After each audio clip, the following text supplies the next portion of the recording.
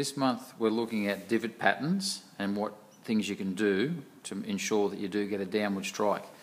Now I've got one of our junior members here with us, Xavier Kempton, who's going to help us to explain some of the things we might do to improve our strike. So what we've got here is something that we use a lot uh, on Saturday afternoon with the uh, cadets and the juniors and the Apley boys.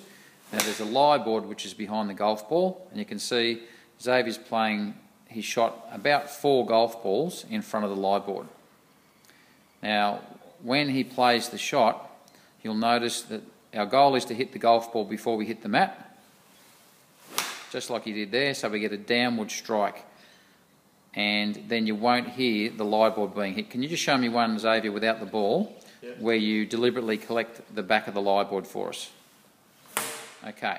Now that's a sound that quite often someone who tends to take no divot or gets the divot before the golf ball, then that's, that's what would happen if they try this simple practice drill. But uh, as Xavier's going along here, you'll find that he'll almost never, I'll put the heat on him now, hear the sound of the lie board because he's not releasing the club too early and he's hitting the ball on the downswing.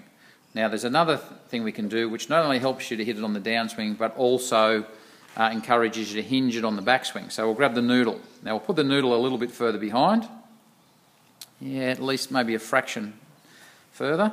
Now this encourages you to hinge your wrists on the backswing and also to lag it and hit down on it on the downswing. So the noodle being a little bit higher encourages you to lead with the handle and lag the club head. And that's really going to increase something which is called your D plane and, and give you much more spin and enable you to really stop those shots that uh, you need to pitch over bunkers. So the lie board helps with uh, delaying the club or delaying the release and hitting down on it.